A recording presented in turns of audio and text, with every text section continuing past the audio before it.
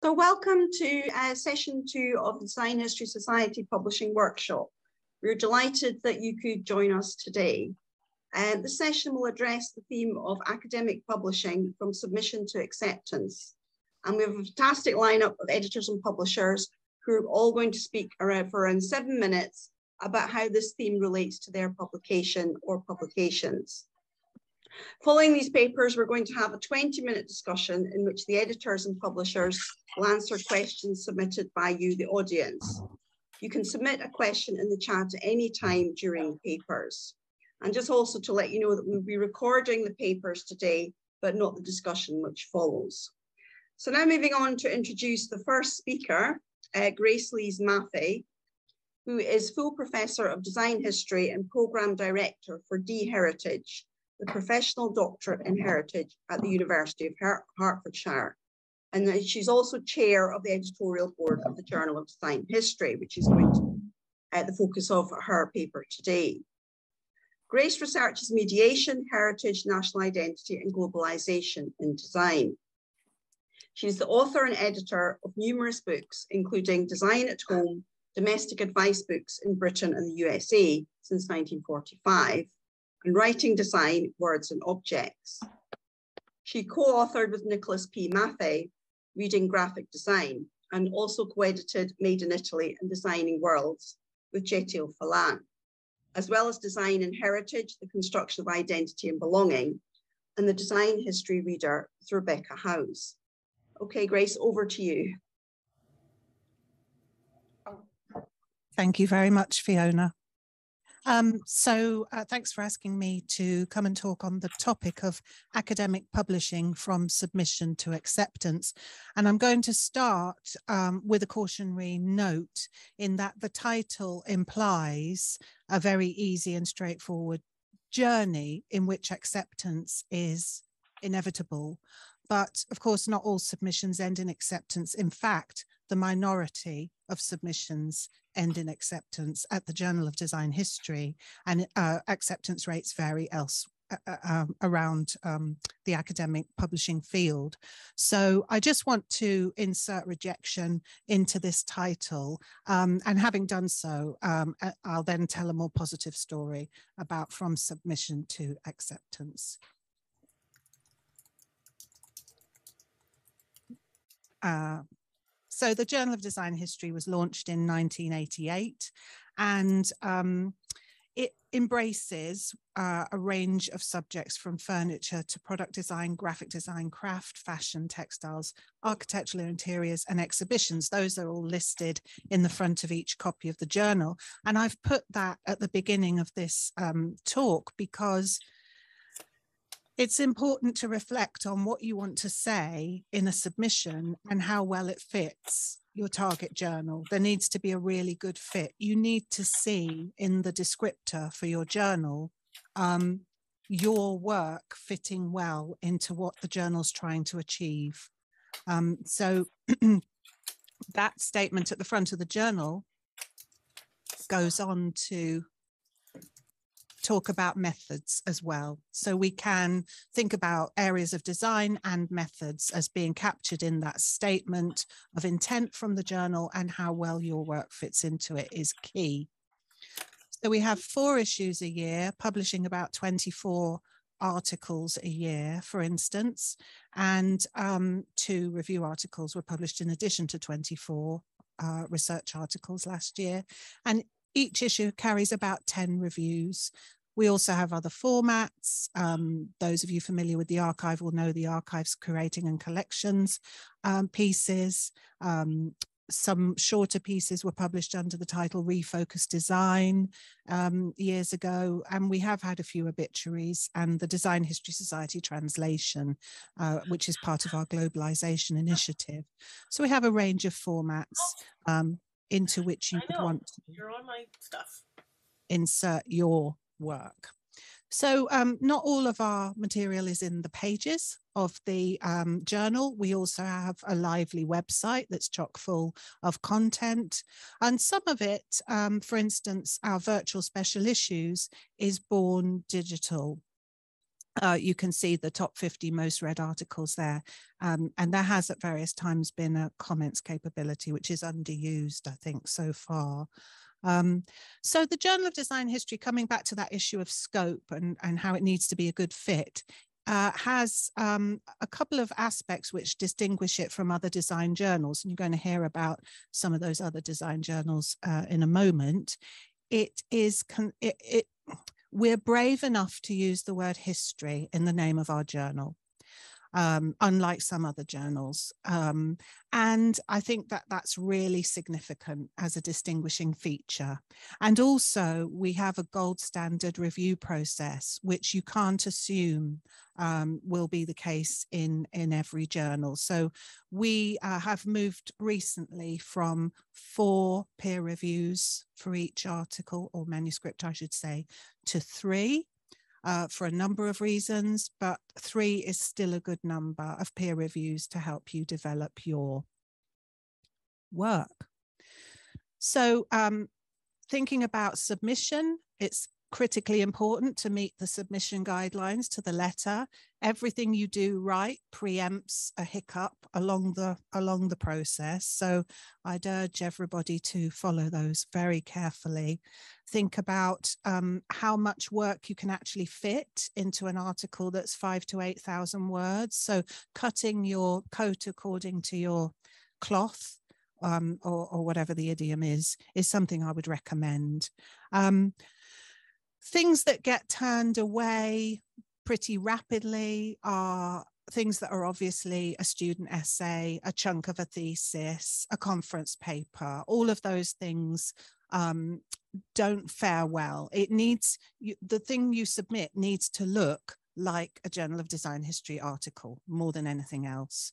You need to articulate a clear original original contribution to design history. So the, the work needs to make an original contribution and articulate an original contribution, uh, citing relevant sources, drawing conclusions based on evidence rather than conclusions that are not based on evidence, and be written in clear English. And that may require professional assistance. So this is a screenshot of the submission um, site that you go into, Manuscript Central, and there's some um, help available there too. So once you've submitted your work, um, our managing editor um, will uh, look at it. So the editorial assistant looks at it, and then the managing editor looks at it. And the man, one of the managing editor's roles is to assign an editor based on um, expertise in relation to your manuscript from the editorial board as a whole. Um, and then the assigned editor will select reviewers um, based on expertise relevant to your uh, manuscript and also thinking about perhaps including some early career researchers where relevant so that we're developing the reviewer body all the time.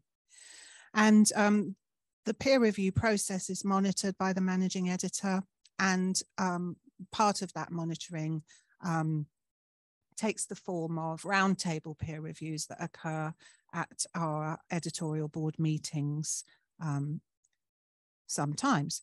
So I thought it might be interesting for you to see the um, peer review questions that reviewers answer. So they're asked to rate for quality, they're asked to recommend um, a level of work that needs to go into it.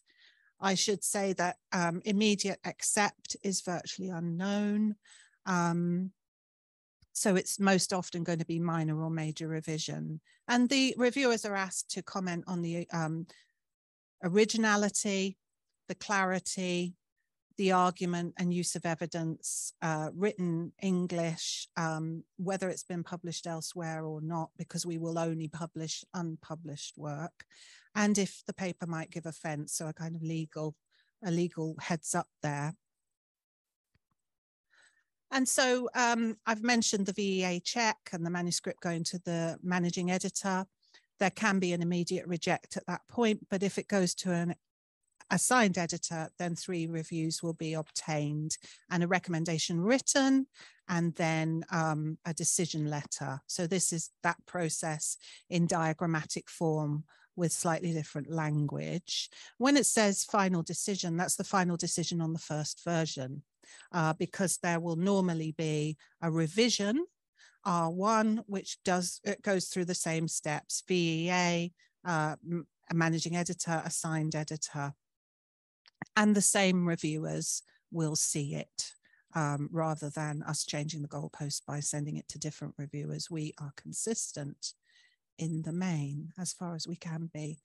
So I just wanted to say a word because I feel quite strongly about this, about feedback, because um, you know our reviewers are critical in a good way. And uh, it can be demoralizing to have to make revisions to work that you've already considered yourself is sufficiently finished to submit. But that feedback is gold dust, and every criticism can be turned around into an action point.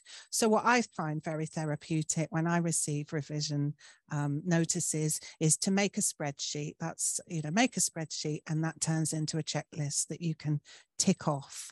Um, and it also helps you very much in writing a response in which you explain how you have met the requirements. Um, so for us, the ideal scenarios are always ones of improvement. So a major revision for the first submission would become minor revision or major to accept, minor to accept.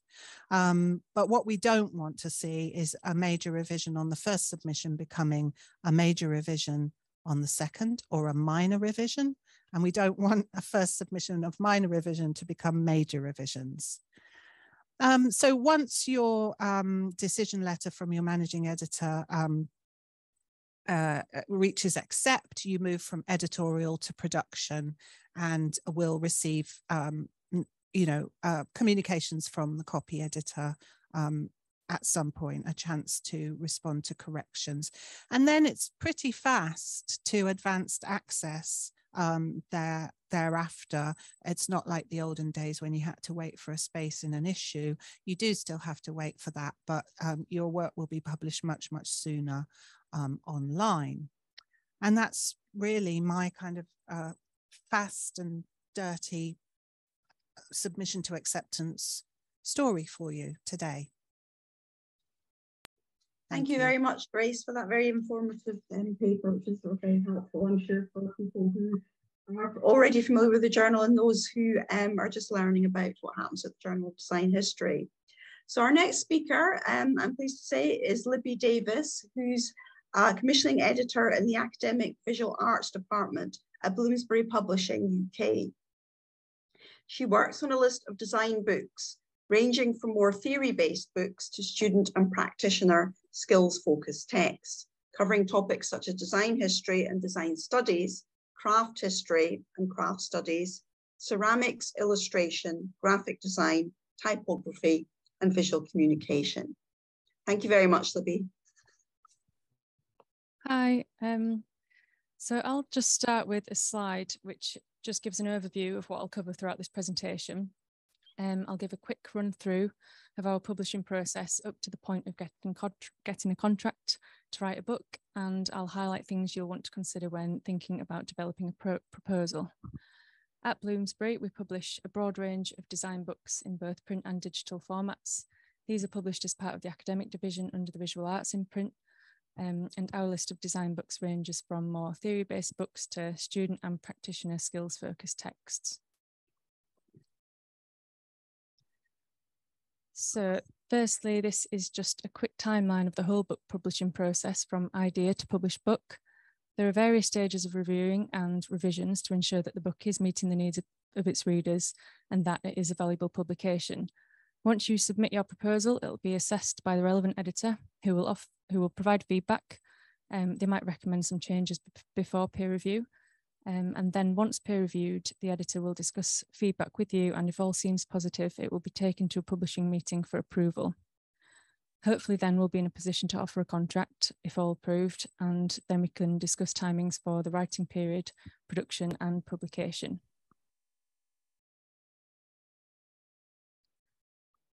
Choosing a publisher. So I thought I'd just highlight some things that you might want to consider when choosing who to approach publishers have lists of books in certain areas. Um, so we'll think about how your book might fit within our list, and you'll want to approach publishers who already specialise in the area that your book will be in. Bear in mind that the process of publishing a book usually takes at least a couple of years, often a few, so you do want to feel comfortable with the team you'll be working with and contacting regularly with questions. You'll want to know that your book will be in good hands and that the publishers will take the necessary steps to peer review and produce a valuable publication and steps to reach the right readers.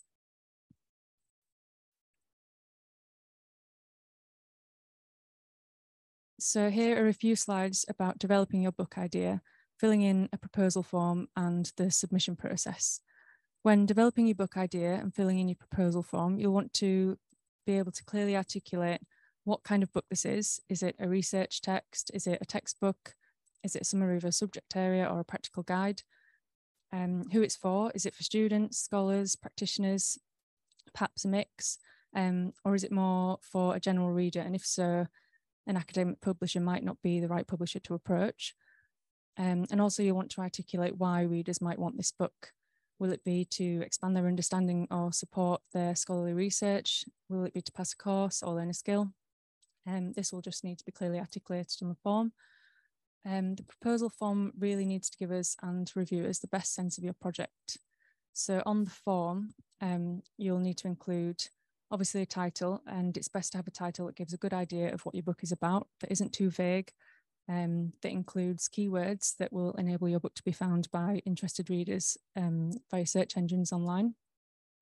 Uh, you'll also want a good summary of the project, so a good description that clearly outlines the book's rationale, the approach, the main themes and objectives with clear, informative chapter descriptions. It's worth noting too that the proposal should be persuasive. Uh, you'll also want a table of contents. Uh, an annotated table of contents is helpful if you're proposing an edited collection and you have different contributors. Uh, so you might want to include affiliations and word counts if they differ. Um, also, we ask for we usually ask for three key features, which should be short uh, and snappy and really highlight what is unique about the book. So, does it include some exciting case studies or touch on any specific geographic areas? Um, also, we want to know the total word and image count, the estimated delivery date, and we also ask you to tell us a bit about competing or comparable books. So it's really helpful in this section of the form for you to highlight how your book compares to what's already out there how it might differ uh, and how it might contribute to the field and meet any unmet needs of the market. So this slide just lists a few things that we think about when assessing a proposal. Each book is assessed on its own merit and as part of the wider list and publishing programme, and also as part of the bigger overall market. Generally, we would think about how profit, profitable the book might be, how we can reach the key readership, um, alongside production costs and price. We'll also consider things like coverage, structure, and the tone and the language used. And we'll think about a project's competitive advantage over other publications in the area. If you plan to include images, it's also helpful to let us know if and how you plan to source permissions and things like that. Peer reviewers. So most of our books undergo two rounds of peer review. Uh, we solicit feedback from experts in the field. They might be instructors, scholars, or practitioners, depending on the topic. Uh, we tend to aim for a good international mix in who we get feedback from as we sell our books around the world, and the process is always anonymous. Essentially, we value peer reviewers, um, and whilst we're specialists in publishing, we're not necessarily subject experts. So, peer reviewers can give us in depth, authoritative feedback on the content and also on how the book might be used. And once reviews are in, we'll discuss feedback with you. And if all sounds good, the next step would be to present your proposal to the publishing committee at the monthly meeting. At this meeting, the editor would present your project to other editorial colleagues, as well as marketing, sales, and directors, uh, highlighting all the great things about your book. And we'll discuss things like budgets, marketing plans, the publishing strategy, the content, and other aspects like the title, which will be agreed at the meeting. If the committee approves, we would then be in a position to offer a contract. Uh, so the primary elements that an author is responsible for are these. These are often based on the proposal document itself. You will need to agree the delivery date and stick to it once contracted, one thing to be aware of is that sales and marketing start their procedures very far in advance of the publication date. So if the book slips at short notice, buyers might cancel orders and there might be inaccurate information online. Uh, you'll also need to stick to things like word count and number of images. as the budget for a particular extent is carefully worked out with estimations of printing costs. Uh, one thing to ensure is that image permissions are addressed early on and you carefully plan to obtain these in time as they can take a very long time. Um, and just onto the next slide about contracts, contracts, these are a few things that we as publishers would agree to. So once you hand your final manuscript over, along with images and permissions documentation, we organise the copy editing, typesetting and proofreading. We agreed to publish the book with a certain amount of time, promote via the necessary channels, and our rights team will get to work on seeking translation deals when and where appropriate.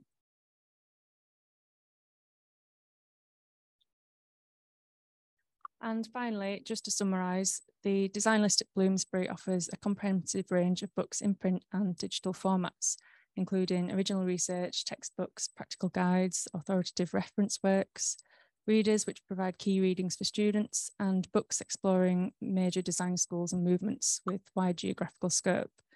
We're always open to new proposal ideas, so please do get in touch if you'd like to discuss anything. Um, in addition to standalone titles, we have several exciting series, including The Cultural Histories of Design, which is one of our research-based series, and it features original research on the role and significance of design in society and culture, past and present. Books in this series offer interdisciplinary approaches to design and cover a range of topics.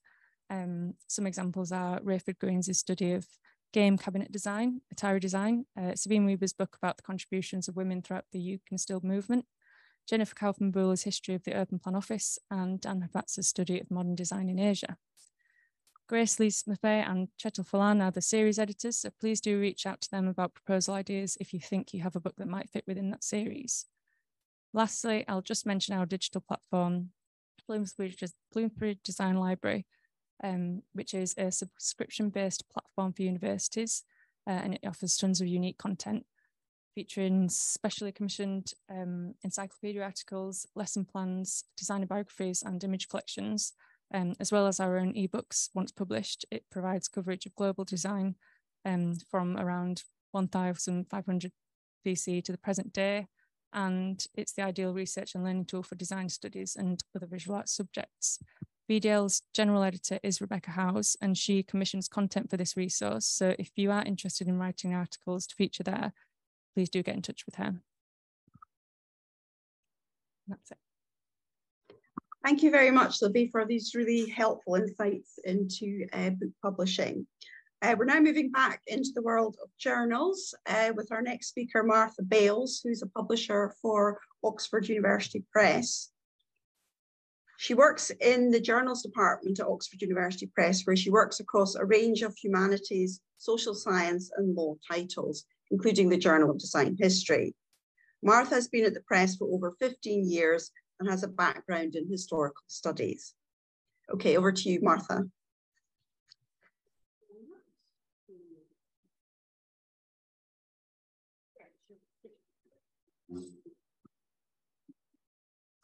Thank you very much for inviting me along today. I'm very pleased um, to offer some insights on this topic. Um, as Fiona said, I'm joining you today from Oxford University Press. We're a department of the University of Oxford and share the objective of excellence in research, scholarship and education by publishing worldwide. We publish work by scholars from all over the world at varying stages of their careers across the arts, humanities, social sciences, law, and STEM subjects. And I work solely on journals at Oxford University Press, managing titles in the humanities, social sciences, and law. We've added to this slide a selection of our journals that may be publication venues for your work here, um, including the Journal of Design History, which is one of the titles in my portfolio. So today I'm going to give you a broad overview of the process with some observations and suggestions from a publisher's point of view. There's obviously some overlap with those points that have already been covered.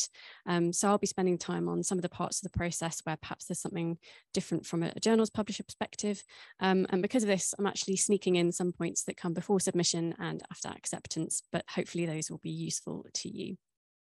Um, and the first thing to say is that at the time of submission, your article must be original previously unpublished and not under consideration elsewhere. Duplicate publication creates extra work for everyone involved and, if discovered, will result in the immediate rejection of your manuscript. You should also ensure that your article is clear of any plagiarized material as many journals now use automated plagiarism detection tools to detect text recycling or significant areas of overlap with previously published work. You should think through any objections or concerns that might be raised by reviewers in advance and address them prior to submission. And it's also increasingly important to consider the DE and I aspect of your work. For instance, are you citing a diverse range of references, for instance, beyond your immediate network of colleagues? If you're satisfied that your work meets those criteria, um, you'll want to think about where to publish. So you might start by drawing up a long list. Uh, you should think about the journals that you regularly read in your own research. You might want to check the references in your manuscript to identify target journals there um, and ensure that you're considering reputable titles that offer a rigorous peer review process. Care should be taken to ensure that your target journals are legitimate. Um, we recommend a service, a free service called Think, Check, Submit that can help steer you to quality journals. It's available in 39 different languages and it's worth checking out. Once you have your target list, you'll then want to narrow that down and you should consider the aims and scopes of your target journal or journals and consider whether they're the best match for your research. You would want to consider the types of article published and your personal preferences, such as publication model, speed of publication, and peer review process. You might also, if it matters, want to look at the impact factor of the journal and also check the website for any innovative features that can help enhance your work. Once you've chosen your journal, you'll then need to work through a number of points before you can submit. And some of these have already been addressed, but I think they, they bear repeating. Um, so do follow the author guidelines. Make sure that you comply with ethical guidance. Your publisher should have information on this on their website. Ensure that you have the correct permissions. I said earlier, this can take a long time, um, so make sure you start that process early. Include acknowledgements, conflict of interest declarations, details of funding sources where relevant. Check that references are up to date and accurate. If English is not your first language, consider having someone else check it over or edit your work and language editing services are available through many publishers. Um, you can find details on websites. You should familiarize yourself with the journal's online submission system and make sure that you submit the final version of your work. Once you've submitted your article, it will be considered by the journal's editors. Some articles will be rejected without review or desk rejected, while others will move forward to be reviewed. The exact review processes and policies do vary between journals, but I'm just covering a few general points here. Um, peer review is intended to help you improve your work. The, mass, the vast majority of papers undergo at least one round of revision. Nobody's perfect. If you receive feedback, respond clearly and politely, but do feel that you can challenge points where this is justified. Revise and resubmit is a positive result. And if rejected, don't be downcast. Don't rush to resubmit, give it time and ensure you address all points raised by the editor and reviewers. Return to your list of target journals and think carefully about where to submit next. And think about your cover letter. Are you capturing the key points and selling your research? Some journals also now allow you to submit reviewer comments from previous submissions, which can help uh, speed the process up. If your paper is accepted, however, you'll move into the production phase. And journals, again, have different methods for processing accepted articles for publication. So I'll just make a couple of general observations here. Um, one is that once you your article has been accepted, ensure that you'll be available for the receipt of proofs. If you aren't going to be available, do ensure that the editor or editorial office has the contact details of a co-author or a colleague who can review the proofs on your behalf. Um, you should make sure you choose the most appropriate license. This might be a standard license, or it may be one of our open access licenses. Um, for this, you might need to bear in mind any funder mandates um, and REF compliance. If you are publishing open access, do make sure you understand the difference between the various Creative Commons licenses as they determine the extent to which others can re reuse and disseminate your work. Details of these can be provided by your publisher. And finally, make sure you understand your warrants and obligations. Um, once your article has moved through the production process, it will be published. Um, and as Grace said earlier, some journals publish corrected proofs online in advanced access ahead of issue publication. At this point, a DOI is assigned, so your article is discoverable and citable. And as soon as your article is published online in that way, OUP would send you a free access link that you can share with colleagues or post to an institutional webpage.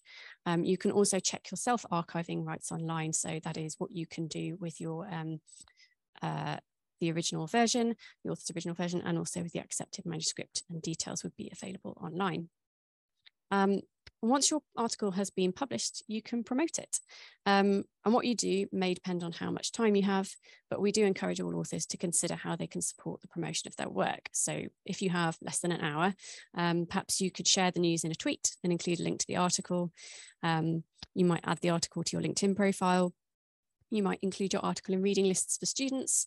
Um, and you might um, mention it in uh, you might mention it in a conference presentation. If you've got a bit more time you might pitch a related piece to a blog um, or other online publication. And again if you're doing a conference presentation you might include some detail there. Finally i'll conclude by directing you to the author resources page at um, oup academic for information on how to prepare and submit your manuscript our guide to publication ethics, our general publishing practices and policies, a list of commercial languaging services, a guide to licensing and publication charges, and hints and tips on how to promote your article post-publication. Whichever journal you choose to submit to, it's also important to look at the title specific author guidelines. These will provide an overview of any specific journal policies or requirements. I'd also like to point at this stage to our um, early career researcher hub, which includes information for first-time authors, including covering research best practice, offering publishing tips, and giving an overview of publication processes and peer review. It's also got a helpful section on publishing trends. Um, and that's my whistle-stop tour from slightly before submission to slightly beyond acceptance, and I hope that was helpful. Thank you very much, uh, Martha, for sharing your perspectives from your based on your extensive experience as a publisher. We're now moving uh, away from our in-person session in Turkey to the virtual uh, papers, our two uh, final papers, which are being delivered virtually. Um, uh, so we're on our whistle stops tour now. We're off to Scotland, um, where uh, Paul Stirton will be joining us. Um, he is Emeritus Professor of the History of European Design at Bard Graduate Center in New York, and also editor of West 86, a journal of decorative arts, design history, and material culture. His research is mostly concerned with British and Central European design of the 19th and 20th centuries. And his most recent book is Jan Tschichold and the New Typography, published by Yale University Press in 2019. Over to you, Paul. Okay, thank you, Fiona. Uh, I hope everyone can hear me quite clearly. Is that Okay, uh, so I'm going to talk just very briefly about uh, West 86, which was created within a specific uh, college in America, the Bard Graduate Center. And it takes its name actually from the address of the college. And its subtitle really explains what we cover, which is a journal of decorative arts, design history, and material culture. Now, I should say that although we are we were created within the Bard Graduate Centre, we don't actually allow any Bard Graduate Centre faculty or students to publish in the journal. It's really a way of promoting uh, high quality research in the field that the college uh, concentrates, as I say. And this is the journal. We publish twice a year. Uh, and we're published by University of Chicago Press. So any practical information about the journal can be found on the University of Chicago Press's website, but guidelines for submission, etc. So a lot of that practical information can be found there. And I thought I would talk more about more practical, mat uh, more down to earth matters about our process of acceptance uh, and review. Now, normally, we, as I say, we only produce two uh, issues a year. So generally it's uh, more open. We don't have themed issues. At least I could have said that up until this year, because this one that I'm holding is one of our first themed issues. The theme was metalwork, and it actually has, normally we have four articles, a translation and reviews, but this uh, issue, which is entirely uh, made up of commissioned articles actually has 25 separate short articles, but that is unusual. It's also a very fat issue. This has over 200 pages, whereas normally we have about 130 to 150 pages. Now we appear in print and digital. And we have our own separate website, which you can find online, which has a selection of examples of what we felt were interesting articles, reviews, and translations. Now, for acceptance and review, we have a system which is similar to most academic journals. We uh, sometimes solicit or commission articles, but very often articles come in, of course, uh, through the website or sent directly to me. And after that, uh, they are reviewed internally by the editorial board. And if we feel there is merit, they go on to peer review.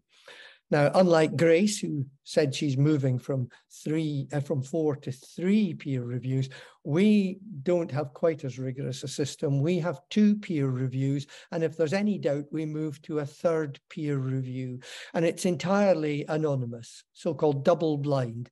The reviewer doesn't know the author, and the author doesn't know the reviewer's name. So it, that remains completely objective. And when we're reviewing uh, articles which come in, we have a set of questions for the reviewers, which basically go as six categories, which are as follows. Is the paper self-sufficient and complete? The first one. Does the article contain original work and to what degree, how original is it? Three, does it make a significant contribution to the field that it concentrates on? Fourth, is the article methodologically competent? Fifth, are the documentary sources handled competently? And finally, sixth, is the language clear and unambiguous? Now, these are similar categories that you would hear in most review processes. After that, we have three categories suitable for publication as submitted, sorry, four categories uh, suitable for publication as submitted, which is extremely rare, as you will have heard. I think I can only remember one article which went straight from review to publication. Second category is suitable for, suitable for publication with minor revisions. The third is publishing, uh, suitable for publication, but requires extensive revision or major revisions, and finally, not suitable for publication in West 86. Now, normally in our description of these, we, we have a bit of flexibility, and as you've heard already, uh, we feel that it's so unusual for an article to come in to be even close to uh, being appropriate for publication that no one should be disheartened by uh, major revisions. We have articles that have come in from very well established professors of history, design, archaeology, and such like.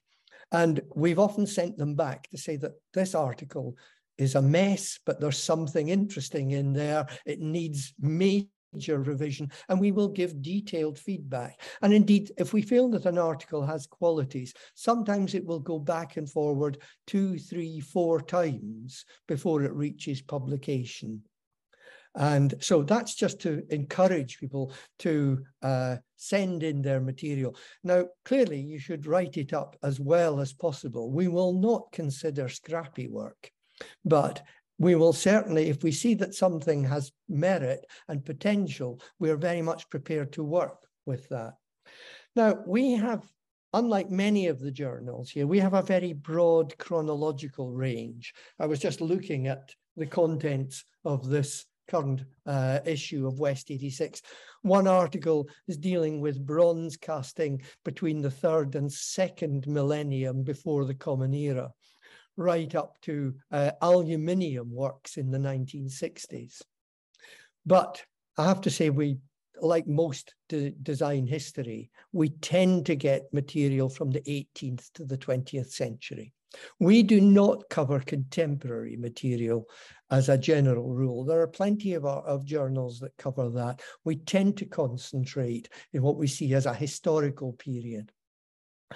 Uh, now, I think that gives a fair range. Now, as regards length, we, like most journals, we recommend that articles should be between six and 8,000 words, but we have been flexible in the past. One of our most successful articles was piece on uh, Art Nouveau in Belgium and the Belgian Congo by a very well established American professor. When that first came into us, it was 18,000 words, but it was so good we wanted to carry it. When it was eventually published, it was 26,000 words, but that was split into three issues. So we have to be flexible if we feel that something uh, merits that kind of attention. And finally, what I wanted to say is for many young scholars, it often seems rather formidable, even really uh, impossible to get your work published. And it's sometimes worth trying out uh, a journal to uh, suggesting reviews that may give you a taste for what we like and also the processes involved. So approach the editor, and I'm very open to suggestions for book and exhibition reviews, and a category that we carry in West 86, which is translations of primary texts from all periods. If people think that there is a source material that would be of interest beyond its own narrow field, we'd be very interested to hear from you.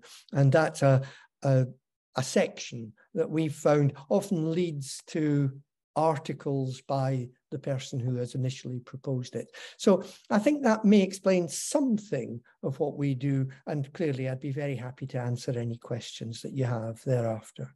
Thank you. Thank you very much, Paul. That was very informative. Thank you very much.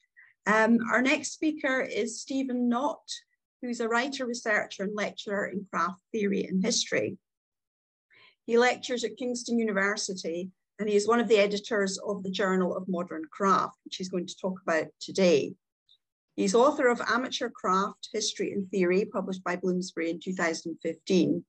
And he has written articles and reviews for Design and Culture, Performance Research, West 86, Crafts and Ceramic Review. So over to you, Stephen. Hello, hello. Thank you very much, Fiona, and uh, hello to everyone, uh, virtually and in person. I'll just uh, share my screen now, um, and if you could just let me know that it's working okay, um, that would be gr great. Does that look good? Yeah, cool. Yes, well, yeah. Thank you, super. So I'll, I'll be quite quick about uh, the Journal of Modern Craft. Um, a lot of the things that others have said uh, apply to our journal. Um, as a um, as a kind of sort of much more younger journal, I think there's a bit more informality and slightly less rigor in our journal uh, in terms of the peer review process, uh, simply because we're quite a young journal and we're not uh, affiliated with any kind of college or uh, conference or things like that. So the Journal Modern Craft uh, was set up in uh, 2008 and is the first kind of peer-reviewed academic journal uh, to kind of really focus on craft studies as its main uh, sort of bread and butter. Um, it's uh, the mission statement of our journal is very broad in terms of uh, what we define craft to be in one sense, and certainly geographies and uh, uh, sort of geographies and material are very broad. But we are looking at something quite specific when we when we use the word craft, and that's why we've got this idea of modern craft.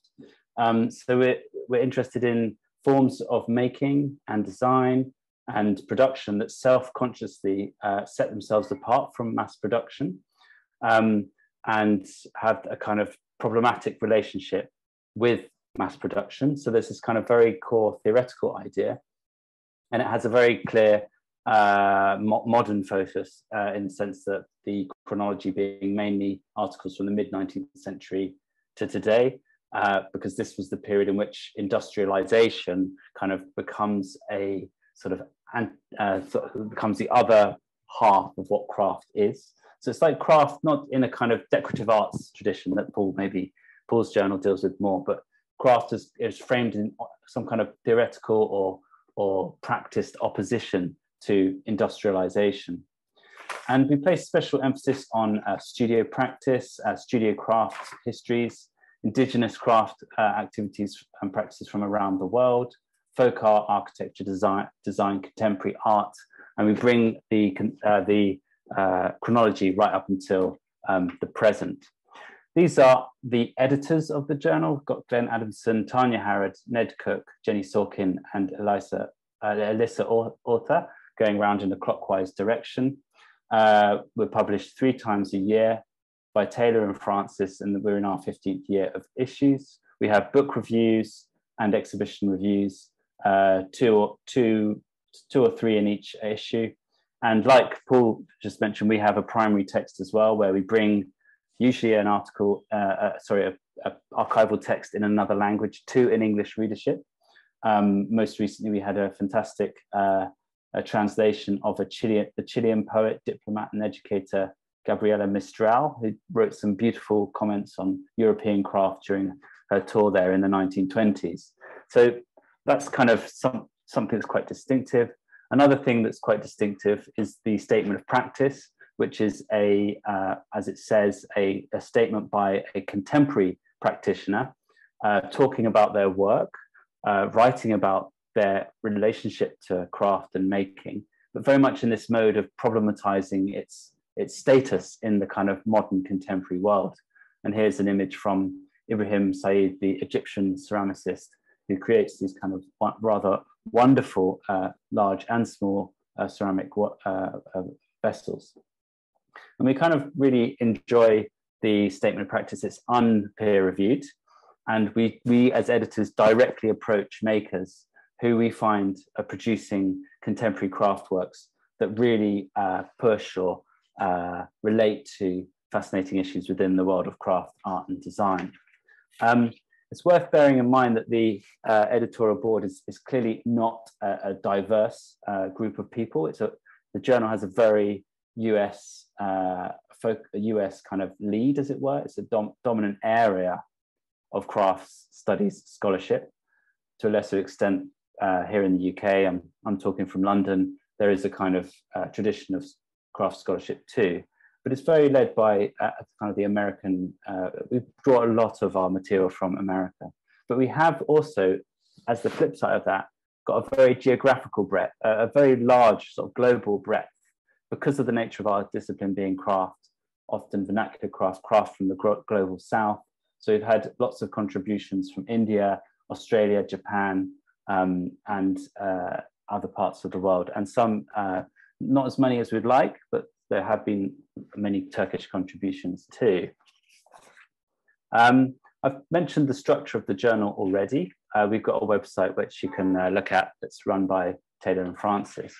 And I go straight to the kind of more practical things that kind of follow what other people have said. Um, the, the, the, the process for us is quite straightforward. I mentioned that we're a younger journal. We don't have a institutional affiliation as yet. We uh, have to do a lot of work as editors to seek out material, which is also quite different. We don't have a massive pile of submissions through our open portal.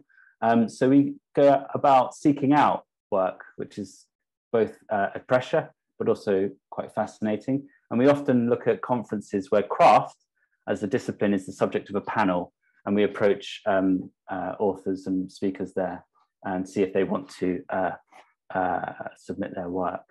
But so we have a kind of similar process to others uh, as um, spoken about already. Uh, first of all, you submit to us either directly to my email or through the portal. The editorial team then consider whether the article is suitable for peer review. If it is, we send it to one, usually one, uh, peer reviewer for a double blind, completely anonymous peer review, sometimes two, and then it's this very simple report um, is uh, uh, sent back to us with either no revisions, minor revisions, major revisions, or reject. And um, I found it uh, helpful earlier that people shared with you what um, what the uh, the peer review form looks like. And can you see it there? No? Yeah. So this is the peer review form that we we have. Um, and it's asking similar questions about originality, um, a quality of academic English, whether the article is pertinent or makes a compelling argument in the discipline, additional comments, and any serious omissions. After that process, it goes to publication or the production stage. Um, the author is invited to respond to the peer reviewer's comments works on a resubmission with a new deadline uh, set by us. Once that process is completed, the editorial team uh, conduct a full line edit. Then we deal with image permissions. Um, and finally, completed files are sent to the publishers and dealt with them, put through their online publishing software system, the proofing stage and the layout stage. Sometimes this can be quite quick in our case. Um, usually though, it kind of follows the same time scales that have already been laid out by other speakers today. Um, and so our journal is, because of its um, uh, non-affiliation with an institution, we go around and have often produced lots of special issues in recent years based on panels at various conferences across the world, but particularly in the UK and US. Um, and here on the screen are just a couple of examples of some really exciting special issues of more recent years, including the Middle East special issue that we had in 2020 by the V&A curator Mariam Rosser Owen. That was is really worth uh, highlighting because it showed our kind of flexibility to kind of content because uh, Maria Rosser Owen had both research articles but way more statements of practice in her in her kind of conference that she was organ organizing about Middle Eastern craft. So we featured about four or five contemporary makers from Algeria, Egypt, uh, Palestine, who are working in craft uh, alongside a smaller number of research articles. That's a really fascinating issue. And the other one on the screen was a, uh, an issue that we devoted to new, new voices in contemporary craft, um, again, based on a, a, a, kind of conference panel at the um, uh, Yale Centre of British Art back in 2017 about the kind of persistence of tradition in modern craft. So that, that kind of raised some, uh, uh, some fantastic um, scholarship. Um, I'm aware that we're kind of coming to time, aren't we? We must be. And I want to leave a bit of time for discussion. Is that right, Fiona?